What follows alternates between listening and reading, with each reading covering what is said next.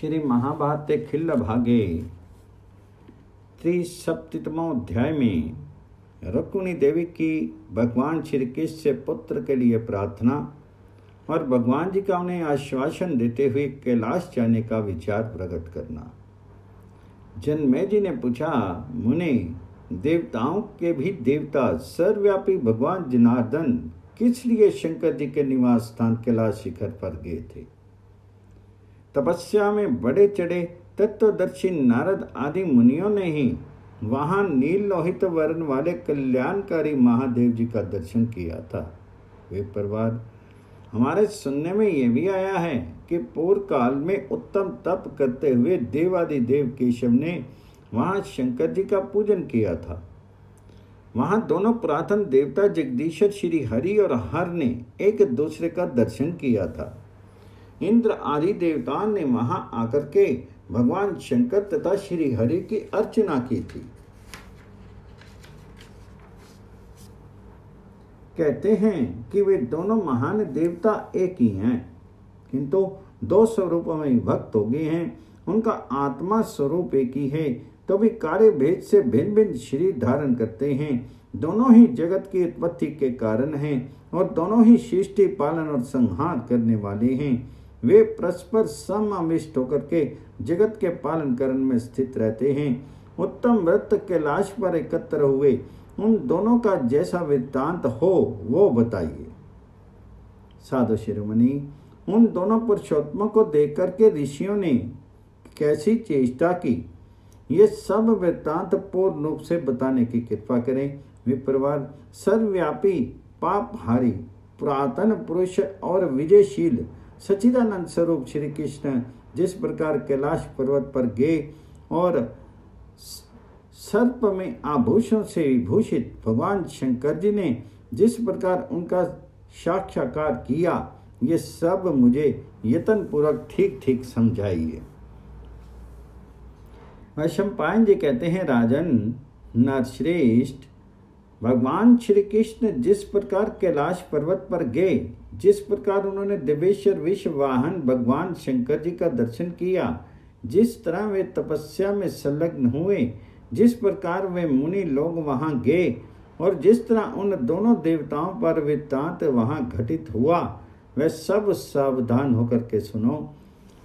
भगवान वेदव्यास ने यह प्रसंग जिस प्रकार मुझसे कहा था, उसी प्रकार मैं गरुड़ वाहन भगवान केशव को नमस्कार करके अपनी बुद्धि और शक्ति के अनुसार कहूँगा। उत्तम व्रत का पालन करने वाले नरेश, तुम यत्न पूर्वक सुनो, जिसमें सेवा करने का भाव ना हो, जो निशंस तथा तपस्या से दूर रहने वाला हो, और जिसने कुछ भी अध्ययन ना किया हो, ऐसे पुरुष को पुण्य आत्मा विद्वान इस पितृ प्रसंग का उपदेश कभी नहीं दे। ये विषय सर्गप्रद यशोवर्धक धन की प्राप्ति कराने वाला तथा सदा ही बुद्धि की शुद्धि करने वाला है। यह भगवान विष्णु और शिव की एकता वेदार्थ का निश्चित सिद्धांत है और पुण्य आत्मा पुरुषों के लिए सदा ही चिंतन करने योग्य है। अनेक आरण्यक ग्रंथों, उपनिषदों ने इसका अनुमोदन किया है। वेद प्राय नारद, आदि तपोधन मुनि नित्य इसका सेवन चिंतन करते हैं भगवान विष्णु और शिव दोनों कल्याणकारी देवताओं के कैलाश पर्वत पर एकत्र होने का यह अत्यंत अद्भुत वृत्तांत परम पुण्य में है। राजन, नरक आदि असुर समूहों तथा अन्यान्य राजाओं के मारे जाने पर जब थोड़े से ही शत्रु शेष रह गए, उन दिनों वृष्णि वंशियों के साथ द्वारकापुरी में निवास करते हुए सर्वसम्मत जगन्नाथ पुरुषोत्तम श्री हरि पृथ्वी का सदा शासन करने लगे। भगवान श्री कृष्ण रुक्मिणी देवी से संयुक्त होकर के उस नगर में निवास करते थे। एक दिन की बात है। जगदीश्वर श्री कृष्ण प्रीतिमती रुक्मिणी देवी के साथ रात में यथोचित विहार करते हुए प्रसन्नता पूर्वक सो रहे थे। उस समय स्वर्ण में आभूषण से विभूषित हुई रुक्मिणी देवी ने भगवान जी से कहा, देवेश्वर, माधव मैं आपसे आनंददायक पुत्र प्राप्त करना चाहती हूँ। प्रभु, वह पुत्र आपके ही समान रूपवान, बलवान, प्राकर्मी, तपोनिधि तथा वृष्णि कुल का नेता हो। वह सभी शास्त्रों के अर्थ ज्ञान में निपुण तथा राज विद्या ब्रह्म विद्या के ज्ञाताओं में अग्रगण्य हो। सत्पुरुषों में श्रेष्ठ पति देव, आप मुझे ऐसे ही गुणों से संपन्न पुत्र प्रदान कीजिए, आप में सदा ही सब कुछ देने की शक्ति विद्यमान है, क्योंकि आप ही सबके कर्ता, दाता, भोक्ता और जगदीश्वर हैं। देवेश्वर, केशव, विशेषता जो आपके भृत्य हैं, सदा नियम पूर्वक आपकी सेवा में मन लगाए रखते हैं। उन्हें आप अभीष्ट वस्तु प्रदान करके इसके लिए तो कहना ही क्या है? देव देव जगतपते, जनार्दन, यदि मैं आपकी भक्त हूँ और आपका मुझ पर अनुग्रह है तो आप मुझे प्राकर्मी पुत्र प्रदान कीजिए। वैशंपायन जी कहते हैं जन्मेजे अपनी प्रसन्न हुई प्यारी रानी रुक्मिणी देवी के ऐसा कहने पर रुक्मी के शत्रु यदुकुल तिलक देव देवेश्वर यादवपति श्री कृष्ण ने रुक्मिणी से ये सम्योचित बात कही, भामनी तुम जैसा चाहती हो वैसा ही पुत्र मैं तुम्हें प्रदान करूँगा। देवी, तुम सदा ही मेरी भक्त हो। इसमें कुछ विचार करने की आवश्यकता नहीं है। मैं अवश्य तुम्हें शत्रु नाशक पुत्र प्रदान करूँगा।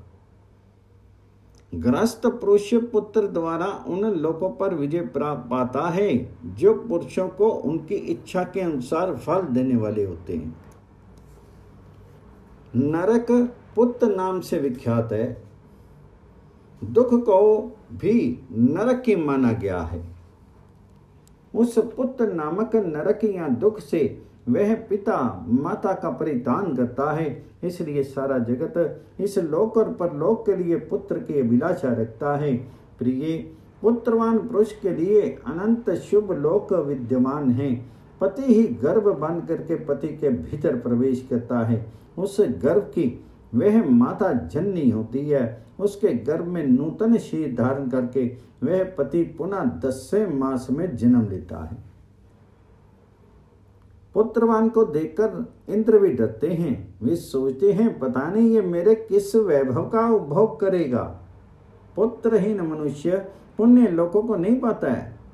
परंतु को पुत्र पैदा करने की अपेक्षा तो बांझ रह जाना ही अच्छा है। कुपुत्र नरक में गिराता है और सुपुत्र से स्वर्ग भी सुलभ होता है। अतः विनयशील विद्वान और दयालु सत्पुरुष की इच्छा करनी चाहिए। विद्या से विनय की प्राप्ति होती है। अतः पुत्र की कामना वाला, प्रयत्नशील विद्वान पुरुष विद्या युक्त परम धार्मिक पुत्र पाने की इच्छा करे। अतः मैं तुम्हें विद्वान एवं परम धर्मात्मा पुत्र प्रदान करूँगा। पुत्र की प्राप्ति के लिए मैं अभी उत्तम पर्वत कैलाश को जा रहा हूँ। वहाँ नीलोहित वर्ण वाले महान देवता भगवान शंकर जी की उपासना करके प्राणियों के हित में तत्पर रहने वाले भगवान शिव से तुम्हारे लिए पुत्र प्राप्त करूँगा। तपस्या और ब्रह्मचर्य पालन के द्वारा सबके उत्पादक अविनाशी अजन्मा सर्वव्यापी आदि देव विरूपाक्ष भगवान शंकर को संतुष्ट करके मैं उनसे पुत्र होने का वर प्राप्त करूँगा। मैं आज ही अविनाशी भगवान शंकर का दर्शन करने के लिए जाऊँगा। मेरे द्वारा किए गए तब से संतुष्ट होकर के वे मुझे पुत्र देंगे। वहाँ जाकर के उमा सहित महादेवी जी को नमस्कार करके उन्हें संतुष्ट करूँगा। वहाँ पहुँचने से पहले मैं मुनियों द्वारा सेवित तपोमयी पुण्य भूमि बद्री में प्रवेश करूँगा, जो अग्निहोत्र के धूम से व्याप्त है। वह दिव्य भूमि सदा गंगा जी के जल से प्लावित रहती है। वहाँ पशु और पक्षियों के समुदाय सब और विचरते हैं और सैकड़ों सिंहों तथा व्याघ्र भरे रहते हैं। यह स्थान बेर के फलों से परिपूर्ण है। वानर वहाँ के वृक्षों की को कंपित करते रहते हैं। वहाँ के विशाल वृक्षों पर बैत की लताएँ फैली हुई हैं। जहाँ तहाँ केलों के बगीचे उस स्थान की शोभा बढ़ाते हैं। वेद के तात्विक अर्थों का विचार करने में निपुण वेद के सुनिश्चित सिद्धांत के ज्ञाता और परमान कुशल मुनि सदा वहाँ निवास करते हैं।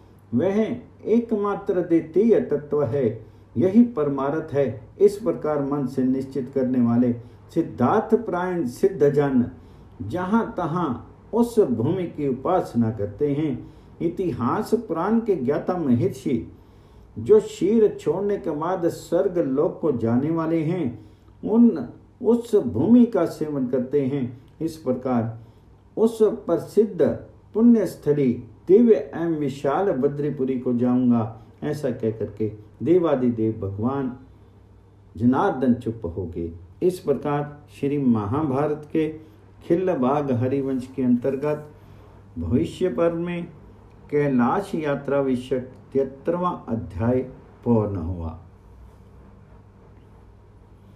भगवान श्री कृष्ण का यादव सभा में अपनी कैलाश यात्रा का विचार प्रकट करते हुए नगर की रक्षा के लिए यादवों को सावधान रहने का आदेश देना।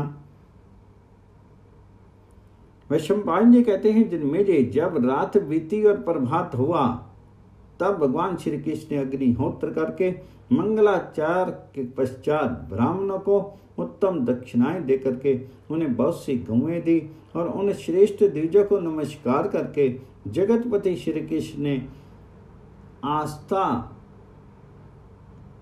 मंडप अर्थात सभा भवन में प्रवेश किया। वहाँ महान सिंहासन पर बैठ करके उन्होंने समस्त वृष्टि वंशी वीरों को बुलाया। बलभद्र सातकी कृतवर्मा, शुक सारण राजा उग्रसेन तथा उन महाबुद्धिमान एवं नीति शास्त्र के महान पंडित उद्धव को भी बुलाया, जिनकी बुद्धि का आश्रय लेकर के समस्त यादव सुख में रहते थे। वे सदा धर्म में तत्पर रहने वाले और विष्णुवंशी यादवों के नेता थे। उन महात्मा की नीति से देवता भी सदा भयभीत रहते थे। जिनके बुद्धिबल से भगवान श्री कृष्ण सदा पृथ्वी का शासन करते थे तथा जो देवताओं के समान परम कांतिमान एवं वृष्णि वंश के प्रमुख वीर थे, उन उद्धव को तथा अन्य यादवों को भी बुला करके भगवान श्री हरि ने उन सबसे कहा, समस्त यादव, मेरी बातें सुने। मेरे पिता के मित्र उद्धव जी, आप भी मेरा वचन सुनिए। नरेश्वर उग्रसेन बाल्यकाल में से लेकर के अब तक दुष्टों का संहार करने के लिए मेरे द्वारा जो प्रयत्न हुआ है, उसे आपने प्रत्यक्ष देखा है। यादवो बाल्यावस्था में बालक रूप में मैंने पूतना को मारा, किसी का संहार किया, गोवर्धन पर्वत उठाया और गौों की रक्षा की। मुझे देवताओं के आगे खड़ा करके देवराज इंद्र ने मेरा अभिषेक किया। मेरे हाथ से कंस मारा गया और चानोड़ तथा मुस्टिक का भी संहार हुआ। महाराज उग्रसेन का अभिषेक हुआ और मैंने द्वारकापुरी का नाम निर्माण किया। अन्य बलवान पर नरेश भी मेरे द्वारा मारे गए। यादवों और राजन, जो वीर राजा जरासंध था, उसका भी मैंने बलवान भीमसेन के द्वारा बलपूर्वक दमन किया। मेरी नीति के अनुसार ही जरासंध का संहार हुआ। गोमंत पर्वत से जाते समय मैंने युद्ध में राजा शेगाल का वध किया। और वह जो वीर दुरात्मा दानव नरकासुर था, वह भी मेरे हाथ से मारा गया। क्षत्रिय शिरोमणि याद हो इस प्रकार मैंने इस लोक को निष्कंटक, शत्रुविहीन बना दिया है। परंतु जो नरकासुर का सखा है, वह वीर राजा पौंड्रक अब तक शेष है। मैं बलवानों का नेता और मुझसे सदा द्वेष रखने वाला है। राजेंद्र पौंड्रक द्रोणाचार्य का शिष्य, बलवान ब्राह्मण पिता रन कर्म कुशल शास्त्रज्ञ, नीतिमान, सबका साक्षात नेता, यत्नशील योद्धा और दूसरे परशुराम की भांति युद्ध प्रेमी राजा है। वह मेरा एकांत शत्रु है और सदा मेरे छिद्र ढूंढता रहता है। यदि वह थोड़ा सा भी छिद्र पा जाए तो युद्ध के लिए उद्यत होकर के द्वारकापुरी को स्ताने लग जाए। शेष नेशो, पौंड्र देश का राजा राजा पौंड्रक थोड़े से साधनों द्वारा वश में आने वाला नहीं है। अतः आप लोग सदा धनुष लेकर के युद्ध के लिए तैयार खड़े रहो। जिससे यदुकल की निवास भूमि द्वारकापुरी को वह राजा पौंड्रक बाधा नहीं दे सके। ऋषो, मैं किसी कारणवश कैलाश पर्वत को जाऊँगा। वहाँ जाकर के समस्त प्राणियों की उत्पत्ति और पालन करने वाले भगवान शंकर का दर्शन करना चाहता हूँ। जब तक मैं लौट के नहीं आऊँ, तब तक आप लोग यहाँ नगर की रक्षा के लिए सतत सावधान रहें। यदि राजेंद्र पौंड्रक ये जान लेगा कि मैं द्वारकापुरी में नहीं हूँ तो वह अवश्य आक्रमण करेगा और इस नगरी के साथ युद्ध छेड़ देगा। राजेंद्रगण मैं तो ऐसा मानता हूँ कि पौंड्रक इस पुरी को यादों से सुनी कर सकता है। अतः आप लोग खड़क, पाश और फस से लेकर के युद्ध के लिए सदा तैयार रहें। पाषाणों तथा आकर्षण करने वाले अपने यंत्रों के द्वारा आप लोग सदा सन्नद्ध रहें। बड़े बड़े फाटकों की किवाड़े बंद करके यत्नपूर्वक पुरी की रक्षा करें। नगर से बाहर जाने आने के लिए एक ही सदा बड़ा फाटक काम में लाया जाए। जो बाहर जाना चाहते हों, वे राजा की मुद्रा पास लेकर के उनके साथ जा सकते हैं, जिसके पास राजा की मुद्रा ना हो, वह द्वारपाल के देखते देखते नगर में प्रवेश नहीं करने पाई। जब तक के मैं लौट करके नहीं आई तब तक ऐसी ही व्यवस्था रहेगी। इस बीच में शिकार खोलना, खेलना बंद कर दिया जाए। नगर से बाहर जाकर के क्रीड़ा ना की जाए। गमन, आगमन के समय सदा अपने और प्राय की पहचान की जाए। जब तक मेरा आना ना हो, तब तक किसी तरह व्यवस्था करनी चाहिए। समस्त यादों ने ऐसा कह करके भगवान श्री कृष्ण ने पुनः सातकी से इस प्रकार कहा। इस प्रकार श्री महाभारत के खिल भाग हरिवंश के अंतर्गत भविष्य पर्व में श्री कृष्ण का कैलाश यात्रा विषयक चौहत्तरवा अध्याय पूर्ण हुआ।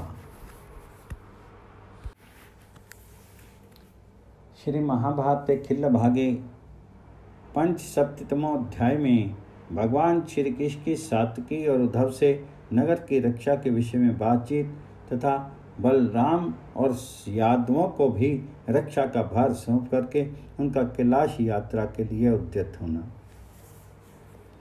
श्री भगवान जी बोले योद्धा में श्रेष्ठ सत्य के मेरी बात सुनो। तुम स्वयं कवच पहन करके तलवार सदा गदा और धनुष हाथ में लिए नगर की रक्षा के लिए प्रतनशील रहो। युद्धकुल तिलक प्रभावशाली वीर द्वारकापुरी बहुसंख्यक क्षत्रियों की निवास भूमि है। तुम यत्नपूर्वक खड़े रहो और इसकी रक्षा करो। तुम्हें रात भर नींद नहीं लेनी चाहिए।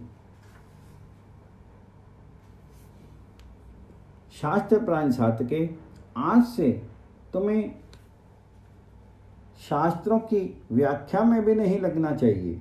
वृष्टि वंश का पालन करने वाले वीर आप तुम्हें वादियों के साथ वाद भी नहीं करना चाहिए।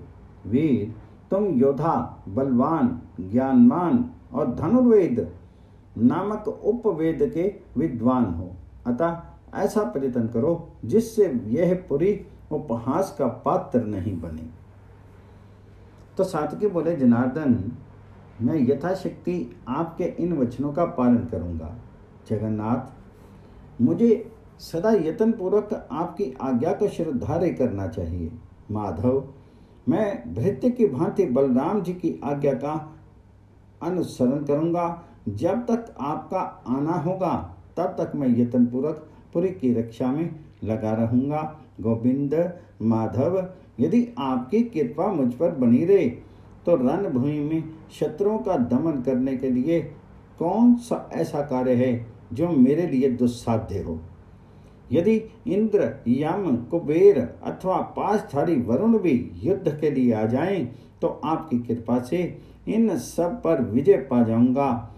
फिर निर्श्रेष्ठ पौंड्र को पराजित करना कौन बड़ी बात है? अरे, जाइए, अपना वह कार्य कीजिए। मैं सतत सावधान रहूँगा। तत्पश्चात कमल ने श्री कृष्ण ने पुनः उद्धव से इस प्रकार कहा, उद्धव जी, मेरी ये बात सुनिए और इसका प्रयत्न पूर्वक पालन कीजिए। राजेंद्र आपको अपनी नीति से द्वारकापुरी की रक्षा करनी चाहिए। तात, आप सदा सावधान रहें और इस विषय में हम लोगों की सहायता करें। इस समय यहाँ सब बातें कहने में मुझे बड़ा संकोच होता है। जो सब प्रकार से विद्याओं में पारंगत हैं, उन सब के आप ही नेता हैं। कौन मेधावी पुरुष आप जैसे विद्वान के समक्ष कोई बात कह सकेगा? जो करने योग्य कार्य हैं, उसे आप जानते हैं। जो श्रद्धा नहीं करने योग्य हैं वह भी आपसे अज्ञात नहीं हैं। अतः वृष्णि वंश का पालन करने वाले तात, मैं इस समय कुछ कहने से विराम लेता हूँ। उदा बोले, गोविंद प्रभु, मेरे प्रति आपके मुँह से ये कैसी बात निकल रही है? आहो, ये मेरे लिए प्रसन्नता की बात है। किंतु ये आपका ऐसा ही इस रूप में प्रकट हुआ है। ये आपका प्रेम ही ऐसा है। जगन्नाथ, मैं समझता हूँ कि यह मुझ पर आपकी कृपा का विस्तार ही व्यक्त हुआ है। केशव, जिस पर आप प्रसन्न होते हैं, उसमें कौन सा, कौन सी विशेषता नहीं है? आप इस समस्त जगत के प्रधानता, श्रेष्ठता और संहारक हैं। आप इस समस्त कार्यों के कारण वक्ता, श्रोता और परमान्विता हैं। ब्रह्म ज्ञानी मुनि आपको ही ध्याता, ध्यान और ध्येय रूप में जानते हैं। आप देवद्रोहियों को जीतने वाले और स्वर्गवासियों के रक्षक हैं। हमारे तो आप ही स्वामी और संरक्षण हैं। इसलिए हम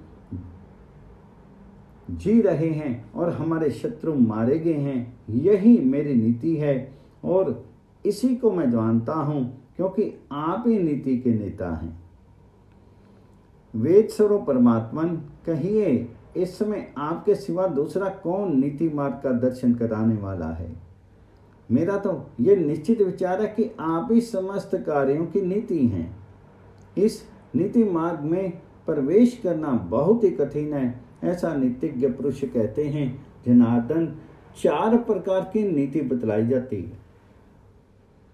साम, दान, दंड और भेद, मनुष्यों के निग्रह दूसरों के द्वारा अपना अवरोध और अवग्रह अपने द्वारा दूसरों का अवरोध होने पर सदा इन्हीं चार नीतियों का प्रयोग होता है। अरे, जो दंडनीय दुर्बल हो उन शत्रुओं के प्रति नीतिज्ञ पुरुष दंड नीति के ही प्रयोग की इच्छा करते हैं। और नीति की क्षमता होने पर, अर्थात शत्रु के अपने समान बलशाली होने पर, उसके प्रति साम नीति का ही प्रयोग अभिष्ट माना जाता है। शत्रु बलवान हो तो उसके प्रति दान नीति का प्रयोग उचित होता है। अर्थात उन्हें कुछ भेद देकर के शांत कर देना आवश्यक समझा जाता है। जहाँ साम, दान और दंड, इन तीनों नीतियों की पहुँच ना हो सके, वहाँ महान भेद का प्रयोग करना चाहिए। यह नीतिज्ञ पुरुषों का मत है। उन उन सभी नीतियों में विद्वान पुरुष आपको ही प्रमाण मानते हैं। आपने जिस अवसर पर जैसी नीति का प्रयोग किया है वहाँ वही उचित था। ऐसे लोगों का मत है। यहाँ बहुत कहने से क्या लाभ? सारा ज्ञान आप में ही समर्थित है। शंपायन जी कहते हैं निर्श्रेष्ठ ऐसा कहकर के अतिशय नीति में उद्धव जी चुप हो गए। राजन, तदंतर वे तत्ववेता भगवान श्री कृष्ण ने इस तरह यादव सभा में माँ बाहु बलराम, महाराज उग्रसेन तथा कृत वर्मा से पूर्वोक्त बातें कही। इसके बाद वे पुनः बलराम जी से बोले, भैया, आपको प्रमाद नहीं करना चाहिए। आप सदा नगर की रक्षा के लिए यत्नशील बने रहिए। माँ बाहो, आप रक्षा के लिए खड़े हो जाइए। जो जगत को क्या पीड़ा हो सकती है, आर्य, अब सदा अपनी गदा उठाइए, सदा क्रीड़ा और मनोरंजन का ही अवसर नहीं होता। प्रभु, आप सदा यत्नपूर्वक द्वारकापुरी की रक्षा कीजिए। हमें उपहास का पात्र न बनना पड़े, ऐसा प्रयत्न कीजिए और गदा लिए। सदा रक्षा के लिए उद्यत रहिए। आपको सदा उत्साह बनाए रखना चाहिए। कभी उत्साह का अभाव नहीं हो, इसके लिए यत्नशील रहना चाहिए। तब बलराम जी ने वृष्णि वंश अमतंस श्री से कहा, बहुत अच्छा। उनकी आज्ञा शिरोधार्य करके सभी वृष्णिवंशी अपने अपने घरों को लौट गए।